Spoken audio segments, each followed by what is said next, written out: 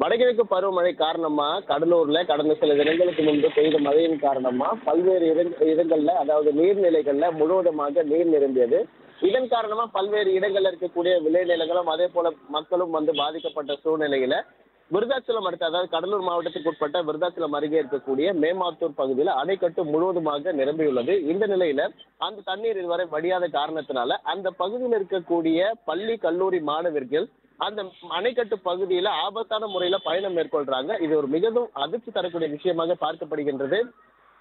இந்த பகுதியில் இருக்கக்கூடிய அதாவது விருதாச்சலம் மேமாத்தூர் உள்ளிட்ட பகுதிகளில் இருக்கக்கூடிய பத்துக்கும் மேற்பட்ட கிராம மக்கள் ஆகட்டும் அதே போல அந்த பள்ளி கல்லூரிகள்ல பயிலக்கூடிய மாணவர்களாகட்டும் அந்த அணைக்கட்டு மீதான் சென்று அந்த அடுத்த கிராமத்தில் படிக்கக்கூடிய இடத்திற்கு சென்று அவர்கள் கல்வி பயிலும் நிலை ஏற்பட்டுள்ளது. ஏன்னா இந்த நிலையில் அவங்க என்ன பண்றாங்கன்னா அந்த மேம் அந்த அணைக்கட்டு பகுதியில் நடந்து சென்று அந்த இடத்திற்கு பின்பு சென்று அந்த இடங்கள்ல இருக்கக்கூடிய ஒரு மறைவான இடங்கள்ல தங்களது உடைகளோ அல்ல பள்ளி கல்லூரிக்கு செல்லக்கூடிய அந்த சீருடைகளை மாற்றிக்கொண்டுதான் அவர்கள் பள்ளிக்கு செல்லக்கூடிய நிலை இருக்கின்றது. இதன் காரணமா இந்த அணைக்கட்டு மீது பயணிக்கக்கூடிய சூழ்நிலையில மிகவும் ஆபத்தான பய முறைதான் இந்த இடத்துல பார்க்கப்படுகின்றது.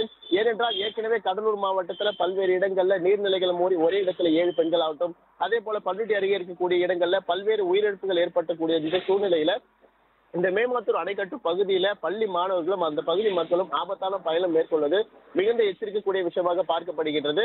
இந்த பகுதியில் இருக்கக்கூடிய முகாசப்பொருள் உள்ளிட்ட பத்துக்கும் மேற்பட்ட கிராமங்கள்ல இருக்கக்கூடிய பயிலக்கூடிய மாணவ மாணவிகள் இந்த பயணத்தை மேற்கொள்ள வேண்டிய சூழல் தான் ஏற்பட்டுள்ளது. மேலும் இந்த பகுதியில அந்த தண்ணீர் அதிக வரத்து அதிகமாக இருப்பதன் காரணமாக மேலும் உயிரிழப்பு ஏற்படக்கூடாது என்ற ஒரு அச்சத்துல இந்த பொதுமக்கள் பல்வேறு கோரிக்கைகள் விடுத்திருக்காங்க.